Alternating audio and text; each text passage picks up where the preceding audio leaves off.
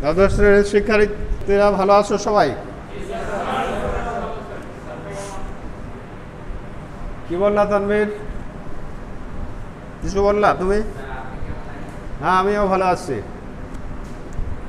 তাহলে দেখো আমাদের সেকেন্ড পার্টের যে সংক্ষেপিত সিলেবাস এই অনুযায়ী কোম্পানির চূড়ান্ত হিসাব কম্পালসারিভাবে উত্তর করা লাগে জানো? এবং এই কোম্পানির আর্থিক বিবরণী ব্যাপারে আমাদের প্র্যাকটিস করতে হবে বেশি। কারণ ক্লাস অনেক দিন হয়নি। প্র্যাকটিস ঠিকঠাক করা লাগবে।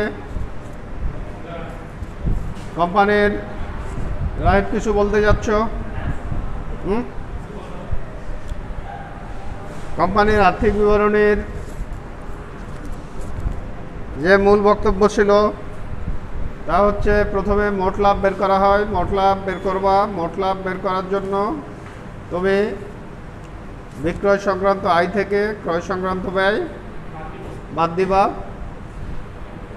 তাহলে মোট লাভ নির্ণয় হবে। মোট লাভ নির্ণয়ের পর মোট লাভ নির্ণয়ের পরে পরিচালন ব্যয় কোম্পানির যত আছে সব বাদ যাবে। পরিচালন ব্যয় মানে ক্রয় সংক্রান্ত ব্যয়ের মধ্যে যে ব্যয়গুলো লিখলা, তাই না? ক্রয় সংক্রান্ত ব্যয়ের মধ্যে যে ব্যয়গুলো লিখলা, এই ব্যয়গুলো বাদে অন্যান্য যে ব্যয়গুলো আছে, অন্যান্য ব্যয়গুলো লিখবা পরিচালন ব্যয়ের মধ্যে। তার মানে অফিসিয়াল এক্সপেন্স যেগুলো। অফিসের খরচ, বেতন, ভাড়া রপ্তানি শুল্ক, বিক্রয় পরিবহন অবশ্যই অনাদায়ী পাওনা অনাদায়ী পাওনা সঞ্চিতি এগুলো। লেখার পরে কি ব্যাপার? অন্যান্য আয় যদি থাকে কোম্পানির, সেগুলো যোগ করবা। কোম্পানির অন্যান্য আয় থাকতে পারে, সেগুলো আবার যোগ করবা। যোগ করার পরে নেট লাভ বের হবে। নেট লাভের পরের অংশ কি? নেট লাভের পরের অংশ হচ্ছে সংরক্ষিত আয় বিবরণী তৈরি করা। সেখানে কোম্পানির নেট লাভ যত হয়েছে, নেট থেকে, নেট লাভ থেকে নেট লাভের উপর নির্ভরশীল কিছু চার্জ আছে। এই চার্জগুলো মাইনাস করবা। কোম্পানির যে নেট লাভ আছে, নেট লাভের উপর নির্ভরশীল চার্জ যেগুলো, সেগুলোকে মাইনাস করবা।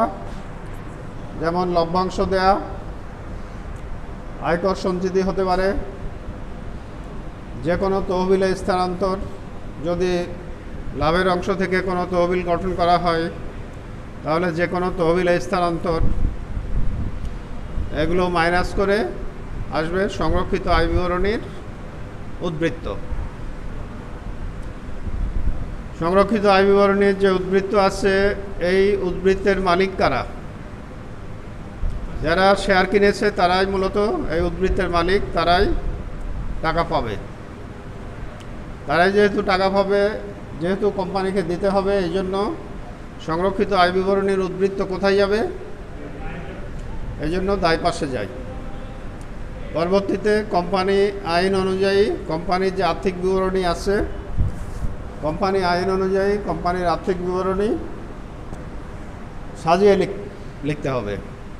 ফার্স্ট পার্টে যেমন তোমার ডাটা যেগুলো আছে, এই ডাটাগুলো তুমি না সাজালেও পারো, কিন্তু সেকেন্ড পার্টের ক্ষেত্রে কোম্পানির আর্থিক বিবরণীর ডাটাগুলো সাজিয়ে লিখতে হবে। কীভাবে লিখতে হবে? কোম্পানি আইন অনুযায়ী লিখতে হবে। তাহলে একটা স্লাইড দেখো। স্লাইডে যা বলতে যাচ্ছে শুরুতে আছে কোম্পানির শেয়ার মূলধন করা হচ্ছে চার লাখ পঞ্চাশ হাজার টাকা। এটা মানে কোম্পানির শেয়ার মূলধন সংগ্রহ করা হয়েছে। চার লাখ পঞ্চাশ হাজার টাকা শেয়ার বিক্রি করে পাবলিকের কাছ থেকে সংগ্রহ করা হয়েছে চার লাখ পঞ্চাশ হাজার। প্রদেয় হিসাব অর্থ পাওনাদার। যে টাকা শোধ দিতে হবে এবং যে টাকা আসবে দায় পাশে। আট পার্সেন্ট ঋণপত্র, এক এক দুই হাজার এগারোতে ঋণপত্র বিক্রি করে ষাট হাজার টাকা কোম্পানি গ্রহণ করছে। এই ঋণপত্র কি হবে? ঋণপত্র বিক্রি করে ষাট হাজার টাকা গ্রহণ করছে। এই ঋণপত্র হবে দায়।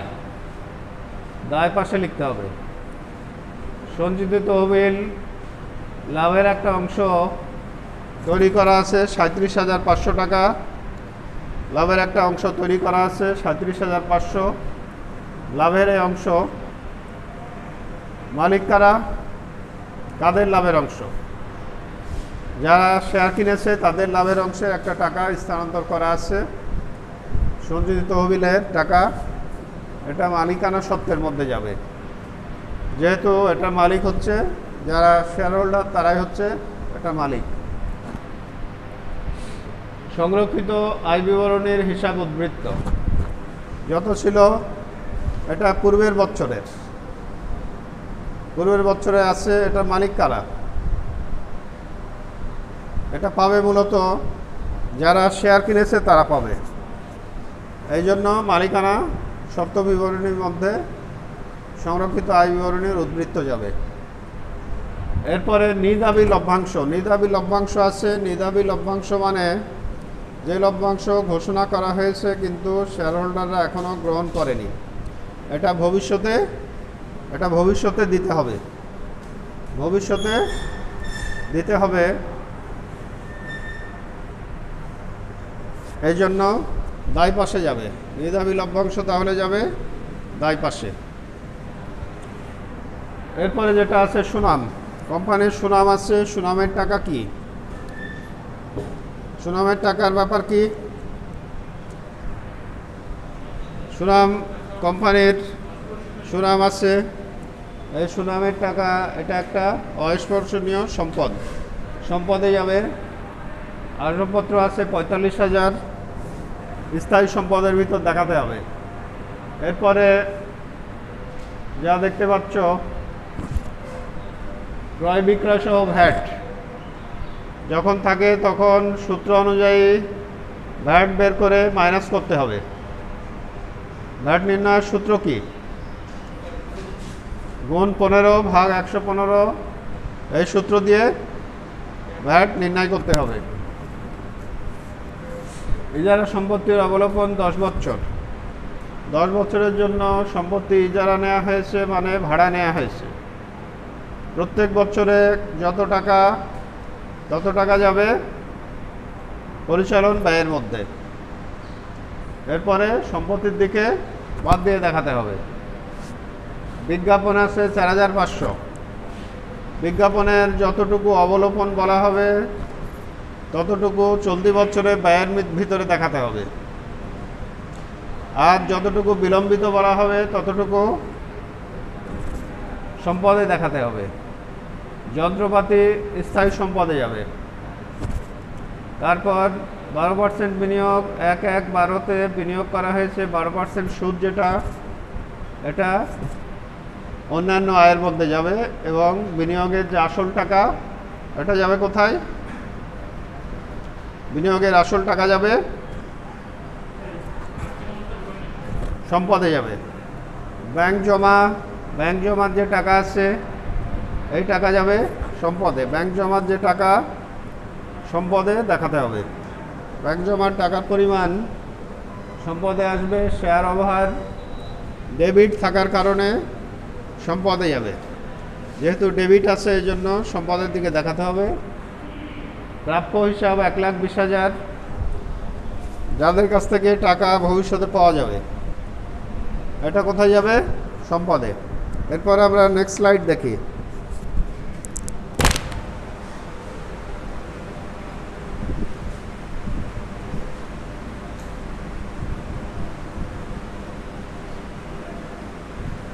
নেক্সট স্লাইড দেখতে পাচ্ছ? নেক্সট স্লাইডে যা বলা হচ্ছে সমপরি মজুত পণ্য ষাট হাজার।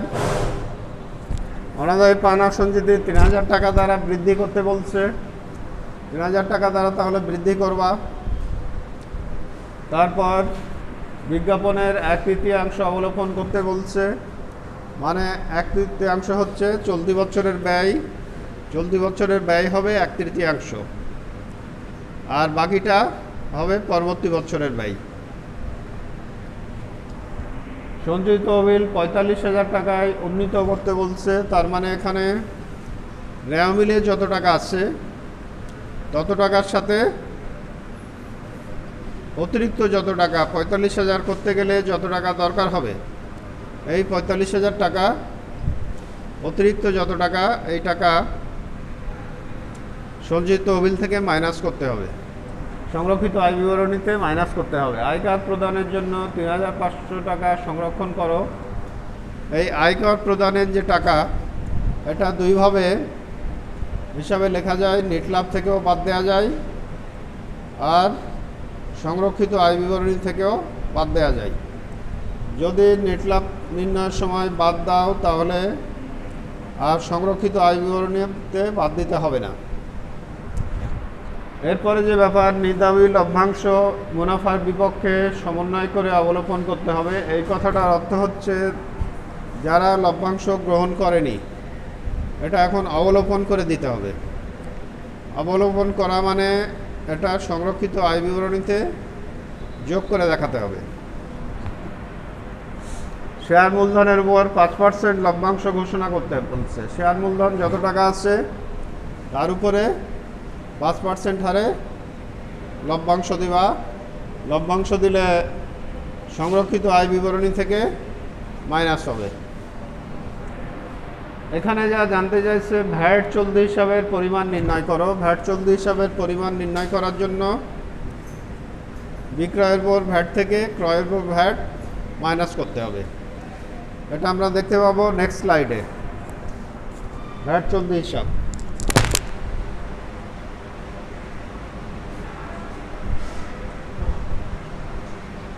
ভ্যাট চলতি হিসাব দেখতে পাচ্ছ চলতি হিসাব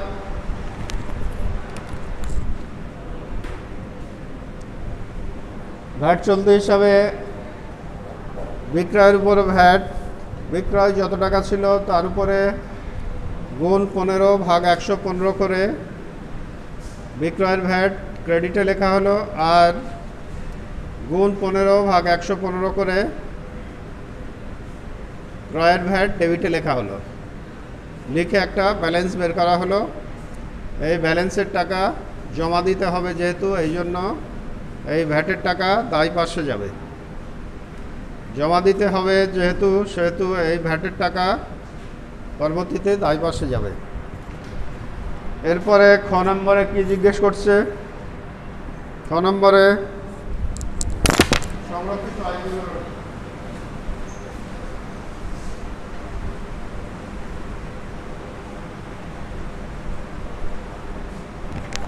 সংরক্ষিত আয় বিবরণী দেখতে পাচ্ছ? সংরক্ষিত আয় বিবরণীতে যা বলা হচ্ছে, সংরক্ষিত আয় বিবরণীর টাকা উল্লেখ আছে। তেষট্টি হাজার সাতশো পঞ্চাশ এটা রেওয়াবিলের ক্রেডিটে ছিল। সংরক্ষিত আয় বিবরণী অর্থ পূর্বের বছরের উদ্বৃত্তের সাথে। চলতি বছরের নেট লাভ যা থাকবে যোগ হয়ে লাভের উপর নির্ভরশীল কিছু চার্জ আসছে, সেগুলো মাইনাস করবা। বেতন ভাড়া দেওয়া কি লাভের উপর নির্ভরশীল চার্জ বেতন ভাড়া কিন্তু দিতে হবেই, এটা লাভের উপর নির্ভরশীল চার্জ না। লাভের উপর নির্ভরশীল চার্জ হচ্ছে এখানে যা দেখতে পাচ্ছ। লাভ হলে দিতে হবে। সংরক্ষিত আয়বর্ণের উদ্বৃত্ত পূর্বের ছিল তেষট্টি হাজার সাতশো পঞ্চাশ টাকা। আর নেট লাভ নেট লাভ বলা আছে। আঠেরো হাজার সাতশো পঞ্চাশ, এটা প্রশ্নে বলা ছিল।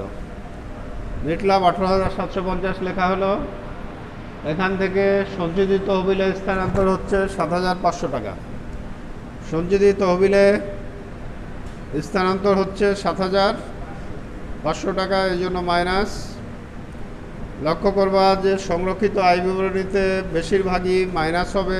শুধু এখানে নিদাবি লভ্যাংশের যে অবলোপন বলবে, ওই টাকাটা শুধু প্লাস হবে। কারণ প্রত্যেকটাই চার্জ প্রত্যেকটাই তুমি নূতন, নূতনভাবে তোমার পরিশোধ করতে হচ্ছে। কোনটা? বিদ্যাপী লভ্যাংশ অবলোপন মানে পূর্বে লভ্যাংশ ঘোষণা করা হয়েছিল। পূর্বে লভ্যাংশ ঘোষণা করা হয়েছে, কিন্তু এখন ওই লভ্যাংশের পরিমাণ লভ্যাংশের পরিমাণ ওরা গ্রহণ করেনি। লভ্যাংশের পরিমাণ এখন ফেরত নিতে হবে। লভ্যাংশ দিলে যদি এখানে মাইনাস হয়, তাহলে লভ্যাংশ ওরা গ্রহণ করেনি, যে কোনো কারণেই হোক ওদের খুঁজে পাওয়া যাচ্ছে- না। তাহলে এখন কি হবে ওই লভ্যাংশের টাকা? প্লাস হবে। এই জন্য যোগ করে দেখানো হচ্ছে। ক্লিয়ার এরপরে যা বলা হচ্ছে, দেখো মেধাবী লভ্যাংশ অবলোপন, এটা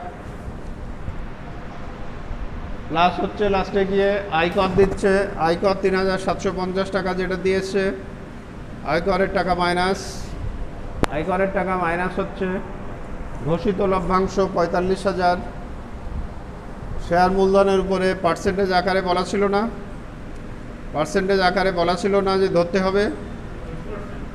তত টাকা মাইনাস শেয়ার মূলধনের যেটা টাকা তার উপরে। আর যোগ নিদাবী লভ্যাংশ অবলোপন সাত হাজার পাঁচশো নিদা- নিদাবী লভ্যাংশ অবলোপন বলা হচ্ছে সাত হাজার পাঁচশো টাকা, এটা প্লাস প্লাস করে যে টাকা হলো, এই টাকা কোথায় আসবে? সংরক্ষিত আয় বিবরণীর সমাপনী উদ্বৃত্ত হলো তেত্রিশ হাজার সাতশো পঞ্চাশ টাকা। এই টাকার মালিক কারা? লভ্যাংশ যারা শেয়ার কিনেছে তারা, তাদের দিতে হবে, এই জন্য দায় পাশে যাবে। এই স্লাইড থেকে কারও কোনো কোশ্চেন আসছে? বয়েজ? কারও কোনো প্রশ্ন থাকলে বলো। এই স্লাইড থেকে যদি কারও কোনো কোশ্চেন থাকে বলো। তুমি কি কিছু বলবা, রাহিব? কারও কোনো প্রশ্ন আছে এই স্লাইড থেকে? বলো। হ্যাঁ বলো তুমি কি বলতে চাও? কোন জায়গায়? সংরক্ষিত আয় বিবরণী একটা কম্পালসারি চার্জ এটা দিতেই হবে। এই, এটার কাজ হয় ক্রয় আর বিক্রয় থেকে মাইনাস হয়। সংরক্ষিত আয় বিবরণীর মধ্যে কি ক্রয় বিক্রয় আসছে? এই জন্য এখানে আসেনি। সংরক্ষিত আয় বিবরণীতে ক্রয় বা বিক্রয় নয়, এই জন্য এখানে আসেনি। এরপরে যে ব্যাপার, আমরা তাহলে নেক্সট স্লাইড দেখি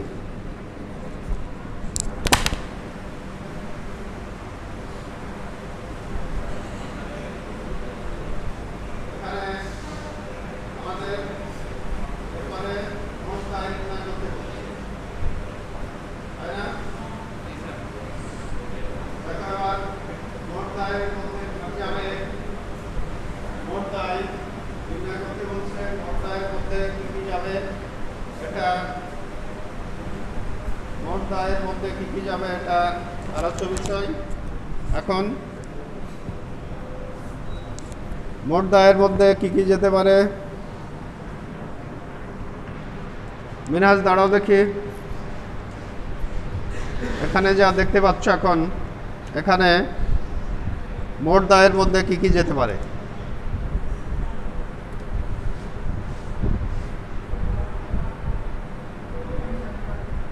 মোট দায়ের মধ্যে কি কি যেতে পারে? বলার চেষ্টা করো।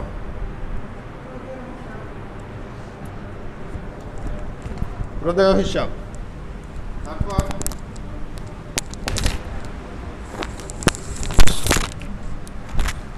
প্রদেয় হিসাব ছাড়া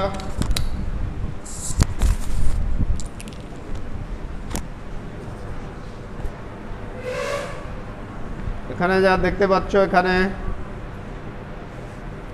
মোট দায়ের মধ্যে কি কি যেতে পারে?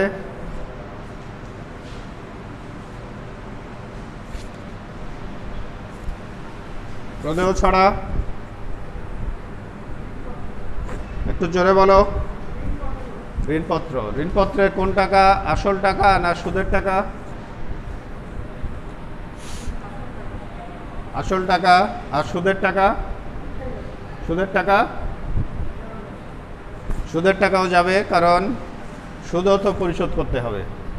এবং পরিশোধ করার জন্য যেহেতু খুব বেশি দিন সময় পাওয়া যাবে না। এখানে চলতি দায় বললে কিন্তু দায় এক কথা, চলতি দায় আর এক কথা। চলতি দায় বললে বকেয়া ঋণের সুদ যাবে। আর দায় বললে ঋণপত্রও যাবে, আবার বকেয়া ঋণের সুদও যাবে। মোট দায় আর এখানে আমাদের যে রিকোয়ারমেন্ট আছে, এই রিকোয়ারমেন্ট অনুযায়ী দায় বললে এরকম আর চলতি দায় বললে আরেক রকম।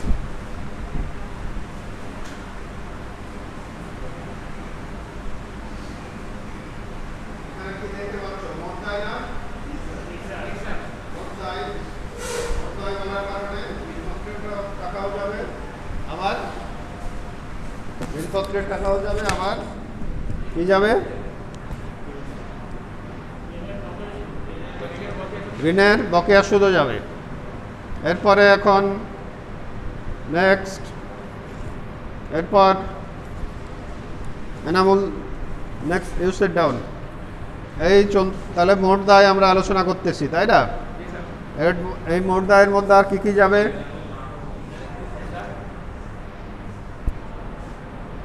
মোট দায়ের মধ্যে কি কি যাবে আর?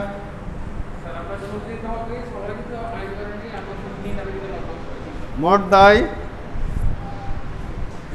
সংরক্ষিত আয় বিবরণীর টাকা কিন্তু কোথায় যায়? সংরক্ষিত আয় বিবরণীর টাকা যাবে মালিকানা সত্ত্বের মধ্যে। আর এখানে মোট দায় মানে দায় পাশে যত কিছু যাবে সব কিছু বলতে হবে। দায় পাশে মালিকানা সত্ত্বের টাকাও যায়, চলতি দায়ের টাকাও যায়, তাই না? এই সবগুলো ব্যাপার বলতে হবে। নেক্সট সালাউদ্দিন মোট দায়ের মধ্যে আর কি যেতে পারে? নিদাবি লভ্যাংশ অবলোপন হয়ে গেছে। নিদাবি লভ্যাংশর ব্যাপারে কিছুক্ষণ আগে দেখলারা যে নিদাবি লভ্যাংশ অবলোপন হয়ে গেছে। মানে নিদাবি লভ্যাংশ এখন আর নাই। এখন আর নাই। দেখেছ না? এই জন্য নিদাবি লভ্যাংশ চলতি দায় দায়ের মধ্যে যাবে না। আর কি মনে হচ্ছে তোমার? আর কি যেতে পারে? হ্যাঁ? আর? আরও আছে। সব কিছু মোট দায় বললে দায় পাশে, চলতি দায়, দীর্ঘমেয়াদী দায়, এবং মালিকানা সত্ত্ব কি দায় না? মালিকানা সত্ত্বের টাকা ফেরত দিতে হবে না? যারা শেয়ার কিনেছে তারা শেয়ার মূলধনের টাকা তাকে তাদের একসময় ফেরত দিতে হবে। এই জন্য চলতি দায়ের মধ্যে যাবে। এবার ফেরদোস, তুমি বলো, মোট দায়ের মধ্যে আর কি যাচ্ছে? তাহলে খাতায় লিখতে হবে, মোট দায় নিম্নরূপ। মোট দায় হ্যাঁ? শুধু বিক্রয়ের ভ্যাটই না, ভ্যাট চলতি হিসাবের যে পার্থক্য ভ্যাট চলতি হিসাবের পার্থক্য যে টাকা হচ্ছে, ওই টাকা যাবে চলতি দায়ের মধ্যে। আর কি যাবে তাই পাশে? ভ্যাট চলতি হিসাবে যে টাকা, ওই টাকা যাবে দায় পাশে। আর কি যেতে পারে?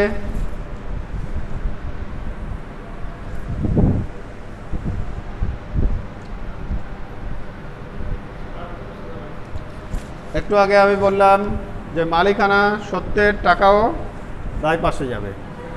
এখানে বলো। তারপরে বলো তুমি। আর কি হচ্ছে প্রদেয়র টাকাও যাবে দায় পাশে। এখানে প্রদেয়র টাকা আছে না? তেরো হাজার পাঁচশো। এটাও দায় পাশে যাবে। ঋণপত্র আলোচনা হলো। ঋণপত্রের বকেয়া সুদও দায় পাশে যাবে। সঞ্চিত তহবিলের টাকা কি যাবে? দায় পাশে। কীভাবে লিখবা? সঞ্চিত তহবিলের টাকা কীভাবে লিখবা?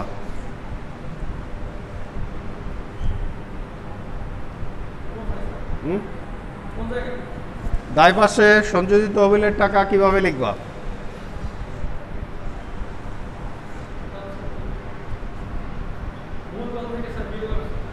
মূলধনের সাথে সঞ্চিত তহবিলের কোনো সম্পর্ক নাই। সেট ডাউন তানভীর সঞ্চিত তহবিলের টাকা কীভাবে লিখবা? দায় পাশে। আচ্ছা কীভাবে লিখবা? সঞ্চিত তহবিলের টাকা দায় পাশে। কীভাবে লিখে দেখাবা? একটু জোরে বলো।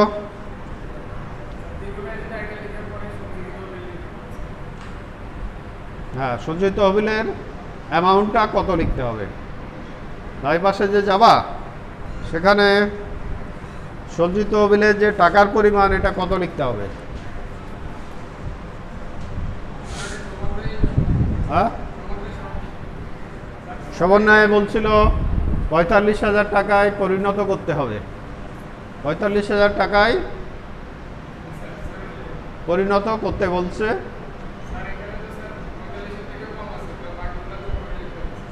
কীভাবে তাহলে লিখবা, এখানে আছে সাঁত্রিশ হাজার পাঁচশো।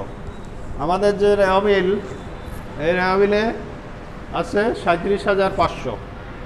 তাহলে ওখানে কীভাবে লিখবা?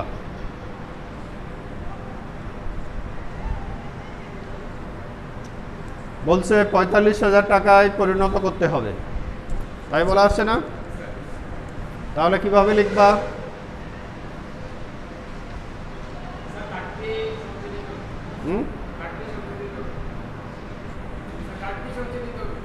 কীভাবে লিখবা এটা?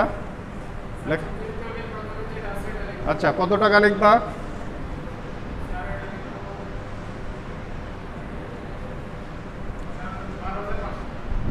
এখানে রেওয়ামিলের যে টাকা আছে সাঁত্রিশ হাজার পাঁচশো আছে না? রেওয়ামিলের টাকা সাঁত্রিশ হাজার পাঁচশো আগে লিখবা, পঁয়তাল্লিশ হাজার টাকায় পরিণত করতে বলছে। তাহলে নতুন আর কত হলে পঁয়তাল্লিশ হাজার হবে? আর সাত হাজার পাঁচশো হলে পঁয়তাল্লিশ হাজার হবে। এই জন্য সঞ্চিত তহবিল লিখে যোগ নূতন বলে লিখতে হবে সাত হাজার পাঁচশো। দিয়ে পঁয়তাল্লিশ হাজার টাকা। ইউ সিট ডাউন এরপরে এখন জুনায়েদ, এখানে যে সংরক্ষিত আয় বিবরণীর উদ্বৃত্ত দেখতে পাচ্ছ, এটা দায় পাশে কি আসবে? দায় পাশে আসবে, যদি আসে, কত টাকা আসবে? দায় পাশে ওই যে আমরা খ নাম্বারে যে টাকা করলাম না খ নাম্বারে স- সঞ্চিত এর টাকা করলাম খ নাম্বারে যে আমরা সংরক্ষিত আয় বিবরণী উদ্বৃত্ত করেছি না, এই টাকায় আসবে। আর কারও কোনো প্রশ্ন আছে বয়েজ? আছে কারও প্রশ্ন আর? ঠিক আছে সবাইকে ধন্যবাদ।